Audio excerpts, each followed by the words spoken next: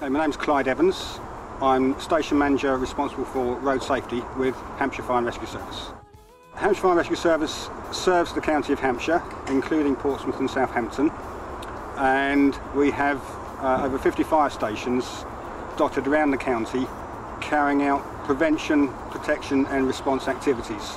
Uh, I first came in contact with Brockenhurst College when the fire service really started out uh, being involved in road safety and it was a fortunate timing in that they'd had uh, a number of incidents that they wanted some help on. We were getting started into the, the realm of road safety and that connection was made. From there we have over the past five years developed a road safety educational, well it started out as a day, it has now become a, week's, uh, a week-long activity for students and staff raising their awareness of road safety and the work of the various road safety partnerships, whether it's the police, the ambulance, the local authorities. Being nominated by Brockenhurst College for this award was a surprise um, and honoured really to, to be put forward for it. The work I do, I, I don't do it for any recognition or reward. For me, um, it's about making life safer.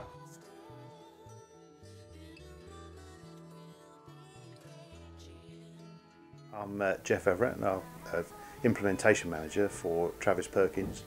Uh, I've been with Travis Perkins for 22 years at the end of this year and Travis Perkins are one of the largest builders merchants in the country. Yeah, I first came into contact with Brockenhurst College through Jackie Maguire probably six or seven years ago and uh, our first contact was with VocFest, a vocational festival that they uh, allow uh, employers to come along and present their case to the students And we thought what would be good as well would be to bring along some equipment so they could actually have a hands-on feel of the kind of thing that we do. And from there, that led to uh, further VOCFests. We, we managed to take some mechanical equipment, diggers and, and dumper trucks. And then we went on to employer um, work days where they, the students are given set tasks to do and we've, we've contributed to that by um, offering them advice and guidance. And we've also worked with uh, Jackie's team training them as well and our, our next project coming up will be uh, having work placements from there at various departments and various brands within our organisation uh, to give them an opportunity to find out what the world of work is really like. Um, I feel quite humble about being uh, uh, uh, you know, recommended for an award. I believe I have helped, but I believe there are other people out there who have helped at least as much as I have, but don't get recognised. So uh, it is nice to be nominated, and I'm, I'm you know, grateful to be nominated, but I don't feel as if uh, I'm that special.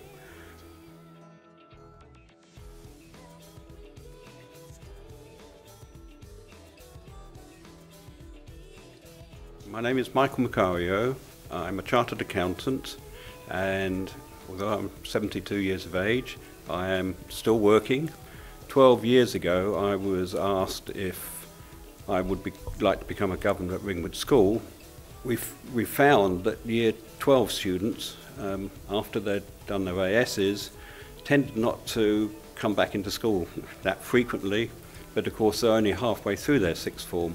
So we came up with a, an idea of how to keep students in school, and this is based on uh, the television program The Apprentice, and uh, they are given basically two weeks in which to come up with a product, sell those products within school, um, and see how much profit they can make.